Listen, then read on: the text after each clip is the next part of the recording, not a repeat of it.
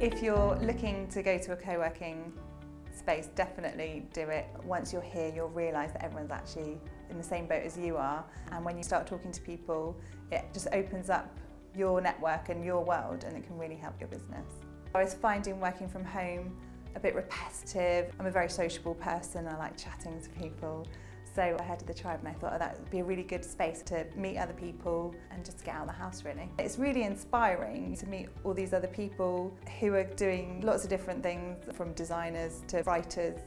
So it's been great to meet with them and just sort of draw upon their skills and their expertise. And you know, some of the people that I've met here have become friends as well. So it's not just networking to make business connections, I've actually become proper friends with people so it's good for just my mental well-being as well. Week to week my business is very different. That's the great thing about this space. I can pick and choose when I want to come, when I need to come and that works really well for me, just having that flexibility. It's just a nice place to be as well. Coming here, you're representing your business, I think it gives you that professional edge. It's absolutely amazing having someone like Claire as part of our community because photography is such an important part of running a business and I don't think most people realise that but things like your marketing, your PR opportunities, for your website, anytime someone needs it I can signpost them um, straight to Claire and say we know the perfect person who can help you with that and having that trusted um, connection that has proven themselves time and time again with other members of the community